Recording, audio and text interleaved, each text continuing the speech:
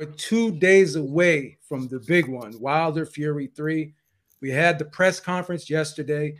Now, usually, you know, when these press conferences happen, everyone's asking who got the better of who. And if you're a Wilder fan, you're going to say Wilder got the better of Fury. And if you're a Fury fan, you're going to say Fury got the better of Wilder.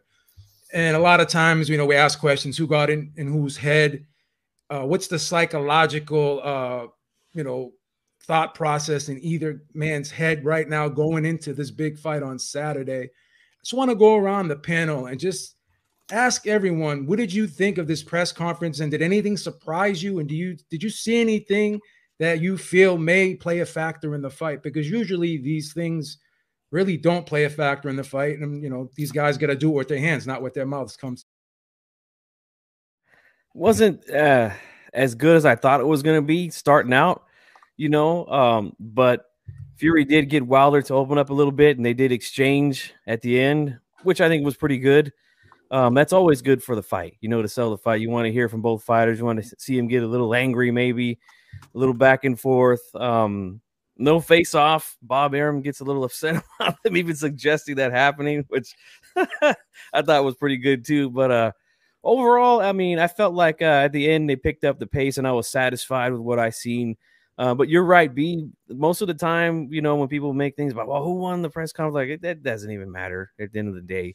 You know, this is just the final opportunity to to sell the fight to anybody who's kind of on the fence about it, I guess. And um, I think they probably got quite a few people to decide to get the fight with the exchange they had at the end.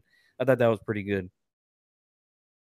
I mean, they got Wilder to talk, which was nice. They got him to talk because it's like, you know, what's the point in having a press conference if one of the guys ain't gonna talk? So they got him to talk, and it's just like it's just like G Funky said it that you know people always draw conclusions about the press conference, but ultimately he said uh, G Funky said it. Ishe Smith said it earlier today on Twitter also that you can't really go off of press conferences. The only thing I'll say is it, it was entertaining. I like that Fury put him on the spot and he asked the hard questions. And you know, we could all sit here and be Dr. Phil about Wilder's mannerisms and the fact that look, he did ask you some relevant questions. He did because Jay Deas was there when his hands were wrapped, and he still has a job. You know, so do you really believe what you've been saying since October of last year? Or, you know, is this a marketing tool you're using? What is this? Is this you trying to cope with the loss?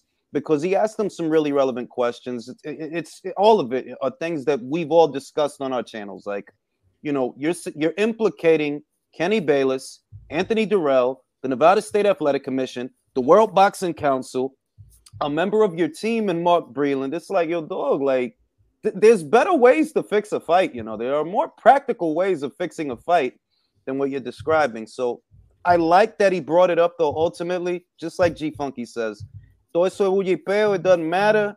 Ultimately, it all boils down to what happens in a fight. And then we're not going to know that until Saturday night. You know, I think Deontay definitely looked more confident uh, than he did in the last press conference. Um, I mean, he did not look very confident to me at all uh, last time. You know, uh, I think the time delay, so to speak, has done him some good. It's given him a little bit more time to train. Uh, you know, apparently he's up this one rep max from a amazing 315 to an even more amazing 320. Uh, so that that was good, you know. Um, and you know, last time, let's face it. I mean, we had the Wakanda suit. We had Mark Breland threw in the towel because of his uh, allegiances to the. All right, we know we know all this, man. you know, go through the revisionist history. I didn't need to go through all of it, but what I we will know say, it all, man. Don't be a dead will, horse, brother. Say, what I will say is this: uh, I counted about ten excuses. Uh, there have been a lot more, but just ten that I reviewed pretty much on my channel on Monday. And in the last press conference, rather than address these things, rather than answer for things that came out of his own mouth, uh, things that were reported by major news outlets.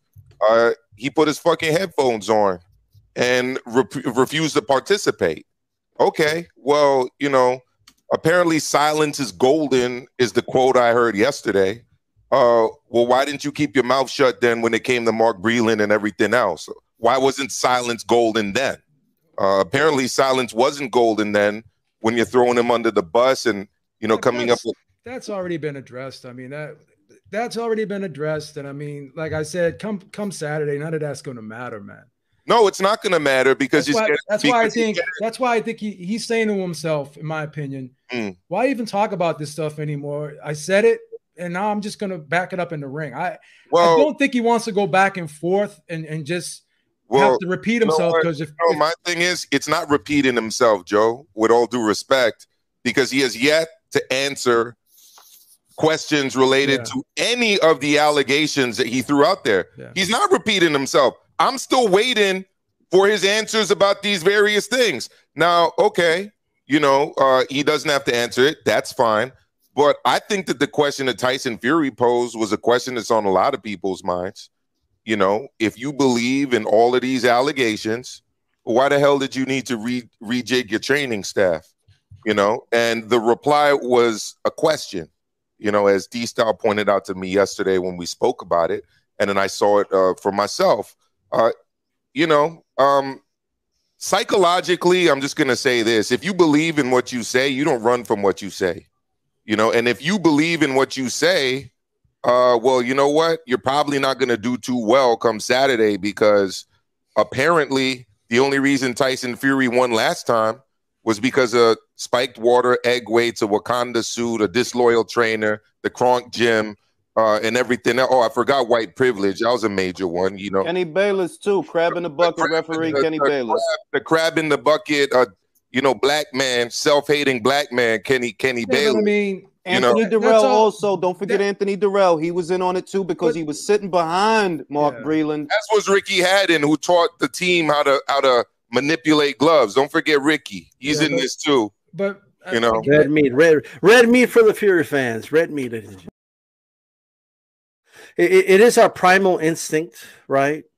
To that we got from our ancestors to to make something out of the, you know, like when you see gorillas fight, what do they do? They size each other up, like, like you know what I mean, all that other shit.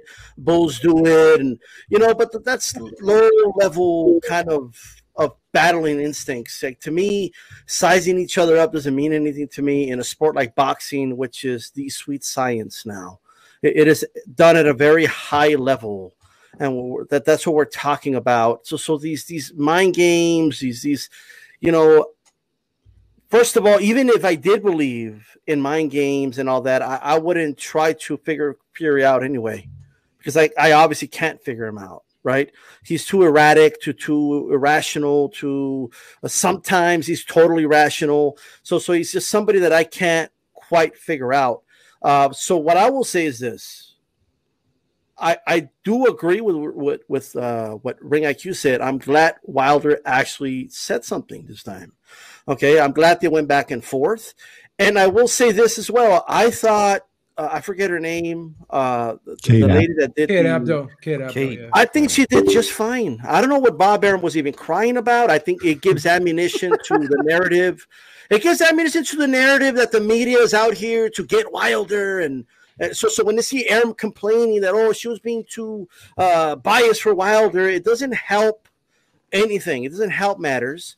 And, and I think it was a little too bent out of shape over a possible face off. Like, well, you should have been ready for that. People want to see a face off. So arrange it. Stop being cheap asses. Get security. Okay. Mhm. Get, get a couple fighters in the middle or something. We need some type of face off. Get one of those glass that they use for Mayorga and, and, you know, and, and uh, it was Mayorga and Vargas, right? Vargas. Like, like, like, figure it out, dude. Make it possible for them to face each other off. Stop being a cheap ass and yelling at Fox Sports because she understood that there was going to be a face off, right? I get it. We're fresh off the Canelo, you know, plant thing. You don't want these guys to get in a fist fight on the stage, and it- then everybody loses a shitload of money, right?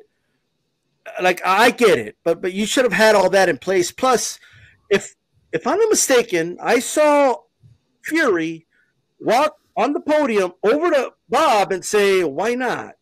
That's what I saw him do. Yeah. Fury didn't have an understanding that that it was obvious that there was going to be no face off.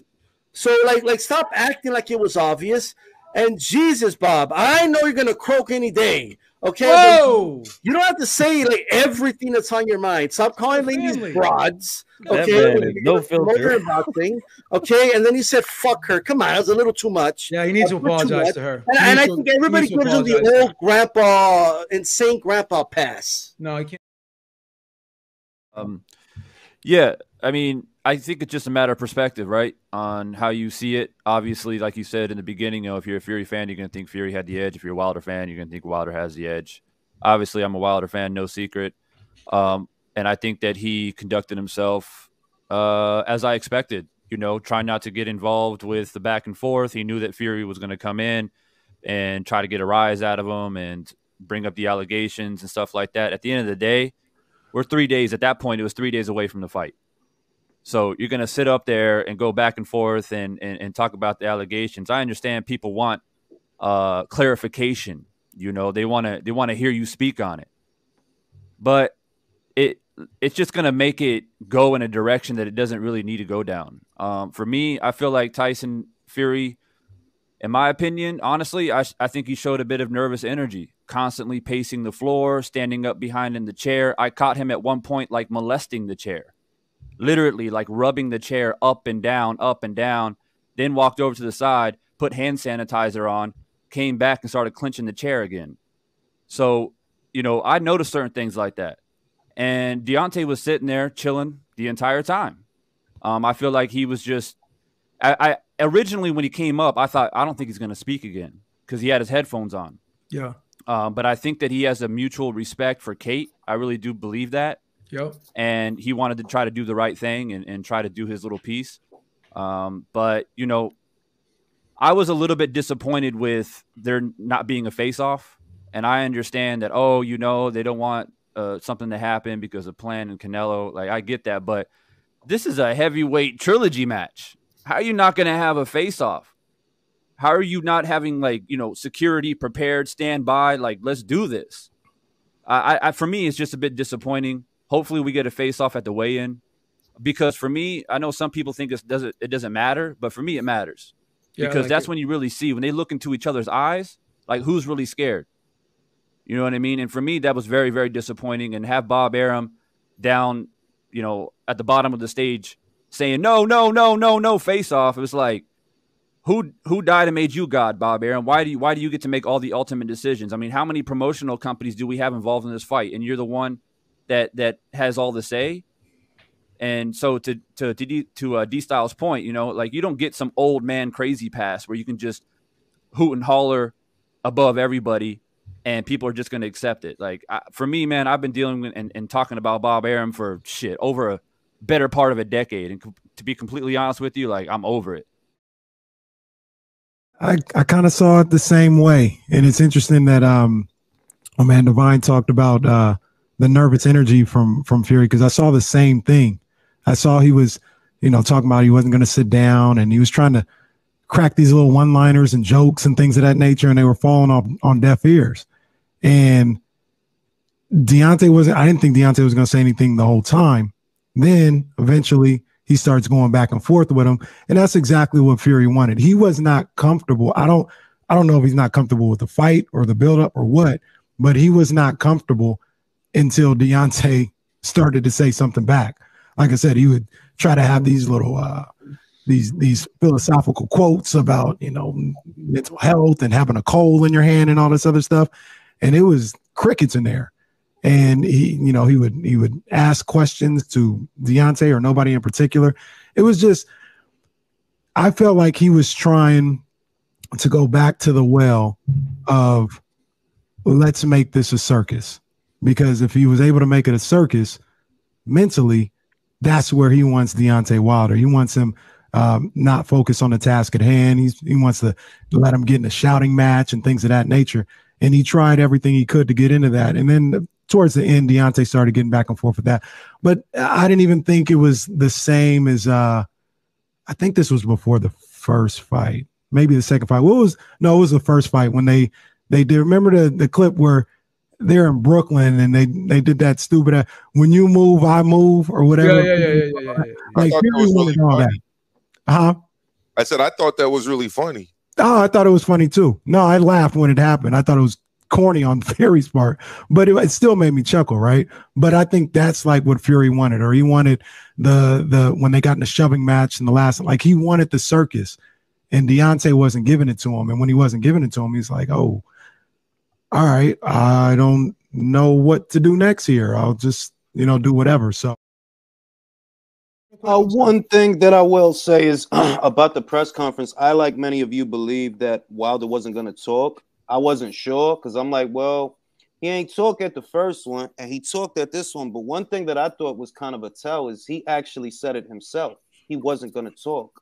Something that Fury said set him off because he said it. Like, yeah, I wasn't even going to talk. Mm. And then before you know it, they're going back and forth. If you've been watching Fury whole career, he didn't do nothing yesterday that he hasn't already done in a bunch of other fights. That's what he did at the at what was supposed to be the David Haye fight. That's what he did at the Klitschko fight. That's what he did at the set. Like he always looked nervous because yeah. he's a fidgety guy. Like when don't he look nervous? He looked nervous at his house with his wife. The man looked yeah, nervous. He, to me, he he exhibits that he has like ADHD for sure. Exactly. Yeah, like he, he, he moves like a kid that's on Ritalin. That's that's fury that I see. That like I see that he's trying to go to the well. I do agree with that. That you're trying to revisit the energy that you had from the first two fights. I see you're trying to go there, but I saw it very different for Wilder because I'm thinking to myself, yo, if I thought a dude hit me with like a locker or a shoehorn or just something, he hit me with something, he cheated basically. I feel like you cheated me. His body language don't t- didn't it for me. It didn't tell me that like you That's sitting ridiculous. down. It was an egg weight. It, exactly egg weight. He hit him with an Easter egg weight or whatever, right? Bang. The body language that he showed me it's like you've been in a nurturing environment all this time around your people, around Malik, around Don House, around Jay Deas, and you finally get out there and his voice cracked when he first went to talk. And I'm like, look, I don't want to turn a mountain into a molehill, but I heard that shit. Your voice cracked. That mm. really tell me you wasn't going to talk. You was just going to sit there, chill, let him talk his shit. I'm not going to say nothing. He mm. opens his mouth. I heard his voice crack. I'm like, all right, this dude really wasn't going to talk. Then he said it like I wasn't even going to say nothing and you're not giving direct answers. You're not behaving like a man who really believes he was cheated. He he not like you're not not, not addressing it. Like yo, address it, man. You think this dude cheated? Even if you don't have the proof, you still gonna move and act a certain way, and you're not doing none of that. You just trying to ride this press conference out. That's that was how what I got from it though. Ultimately, like we said earlier, it don't matter because this the heavyweight division Every single one of these guys is one punch away from being knocked out. Don't matter what they say at a press conference. Don't none of that matters.